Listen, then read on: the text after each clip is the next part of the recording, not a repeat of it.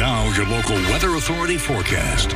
Well, friends, happy Thursday. We got through Monday's heat, and we're going to get through today's heat. Yes, it is July, so the hottest month of the entire year. So we're let's get prepared. Be sure to hydrate, you know, wear your sunscreen and your sunglasses while you are outdoors because take a look at that Midland Sky Tower cam. Yes, we are seeing clouds, but as you can see, they're super duper thin today. So we're going to get a lot more of that sun beaming down on us. Other than that, it's looking nice and calm. And also just the one thing you can't feel either is how hot it is looking. Right now, we are sitting in our 80s, our upper 80s at exactly 87 degrees. Our sunrise happened at 647 in the morning, and since then, temperatures have been on the rise. Winds right now traveling in their double digits south at 17 miles per hour. We have until 8.59 p.m. when that sun sets to really, you know, take advantage of the temperatures that we are getting. And speaking of temperatures, that temperature change does show that the entire good majority of West Texas has increased in temperatures. We're two degrees warmer Midland, Odessa, along with in Snyder, four degree warmer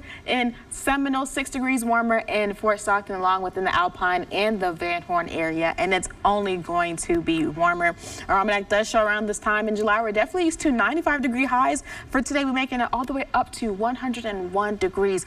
Not too bad. And I know, girl, triple digit heat, that's pretty hot. But we're on brand for this time because this same day back in 1989, we actually made it to 112 degree temperatures. So we're on brand for triple digit heat. And speaking of triple digit heat. Our first sight will be around that 1 o'clock, 2 o'clock time frame. So expect triple digit heats at exactly 101 degrees for Pecos, 100 degrees exact in Carlsbad, Wink, Fort Stockton, Seminole, and in Snyder, along with Dryden. The rest of the Permian Basin is in West Texas is going to, you know, catch up with that triple digit heat trend. 103 degrees for Midland, Odessa, along with in Snyder, 105 in Wink, and then we have Presidio, rather Pecos, sitting at exactly 107 degrees, being the hottest for today. So not only are we going to see temperatures decreasing around that 9 p.m. when that sunset does happen, but it's still going to be very mild. So it's going to take us a while to cool on down. Only that, but our winds are traveling in their double digits and they're going to continue to pick on up as we get into the evening. So please be cautious